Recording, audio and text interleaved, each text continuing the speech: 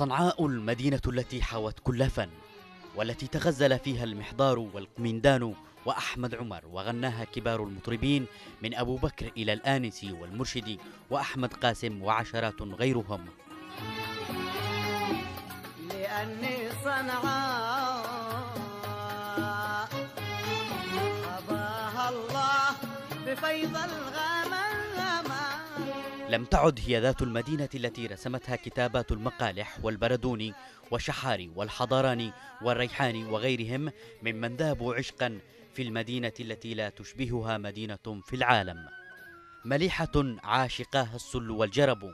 هذه هي صنعاء في زمن الحوثي الذي أذاق المدينة طعم المهانة والذل وأدخلها عصر السوق السوداء وكهف المسيرة الحوثية. هنا لصوص يسرقون في وضح النهار لم يعد اللصوص ينتظرون حلول الليل بل يجاهرون بالسرقة كما هو في الفيديو الذي وثقته كاميرا مراقبة تابعة لأحد المحلات التجارية. اللصوص هنا بسيارة فارهة وبجثث ممتلئة.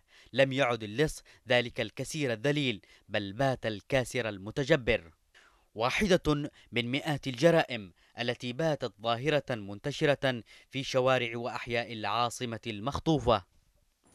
يقول السكان إن السرقات باتت تحمل أسماء كثيرة منها يحدث باسم الدولة إذ يمارس مسلحو الميليشيا عمليات نهب واسعة للمحلات الكبيرة والبسطات والعربيات لسلب ما معهم باسم المجهود الحربي وباسم الزكاة والسجن عقاب كل من يرفض مصادرة ممتلكاته. لكن انتشار السطو المسلح والقتل بغرض السرقات بات يشكل مصدر خوف وقلق بالغين للسكان بعد تسجيل عشرات الحوادث خلال الأشهر الأخيرة. تصل بعض السرقات إلى القتل في حالة المقاومة. انتشار هذه الجرائم يفسره مراقبون بأنه نتيجة لتعمد الميليشيا إطلاق المجرمين وأصحاب السوابق من السجون بالإضافة إلى غياب القانون وحمايته. أسباب تجمعت لتظهر على هيئة ميليشيات منفلتة وسرقات للسيارات والمنازل وعصابات مسلحة تمارس النهب بالإكراه في الشوارع.